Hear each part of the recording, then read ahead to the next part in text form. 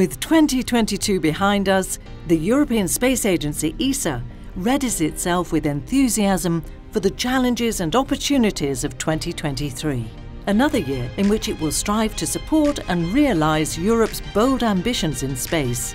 These ambitions and programmes do not only benefit the citizens of Europe, but also the global community.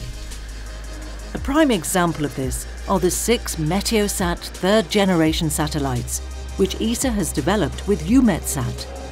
The first of this new generation weather satellites was launched at the end of 2022 and will soon deliver its first images. The MTG I-1 and its still to be launched siblings will allow for an earlier detection of storms and extreme weather events, serve to improve aviation safety and contribute to our understanding of Earth's changing climate.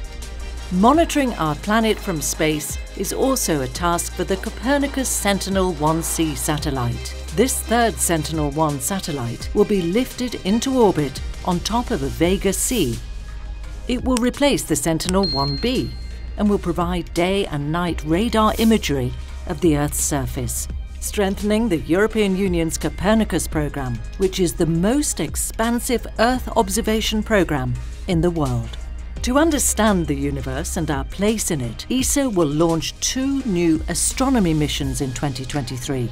The innovative Euclid spacecraft is scheduled for launch in the summer of 2023 and has been designed to help us understand dark matter and dark energy, two fundamental yet elusive forces governing the universe, but how we still do not fully understand.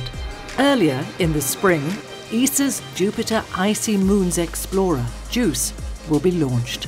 The spacecraft will make detailed observations of the gas giant and its three large ocean-bearing moons, Ganymede, Callisto and Europa. By studying the wider Jupiter system in depth, it could help to better understand the population of gas giants across the universe.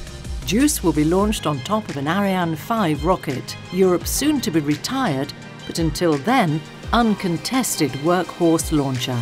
After its retirement, Ariane 5 is to be followed by the newly developed Ariane 6, which will make its maiden voyage later this year and for which preparations at Europe's spaceport are ongoing.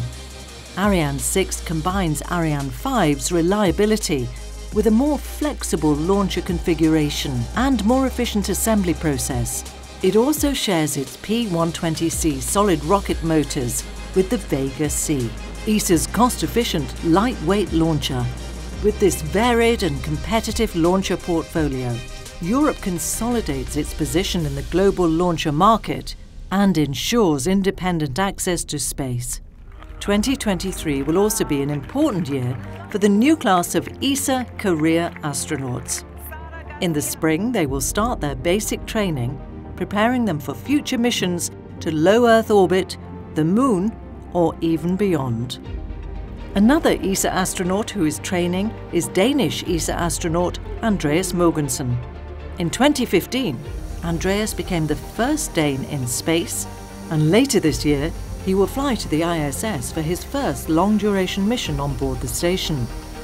His arrival will re establish European presence on the International Space Station since the departure of Samantha Cristoforetti, Andreas is also expected to be the first European to pilot a SpaceX Dragon capsule.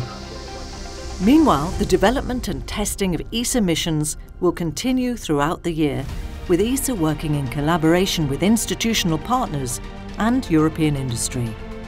These range from drop tests for ESA's return vehicle Space Rider to the continued development on Hera, the first probe to rendezvous with a binary asteroid system and Europe's flagship planetary defender.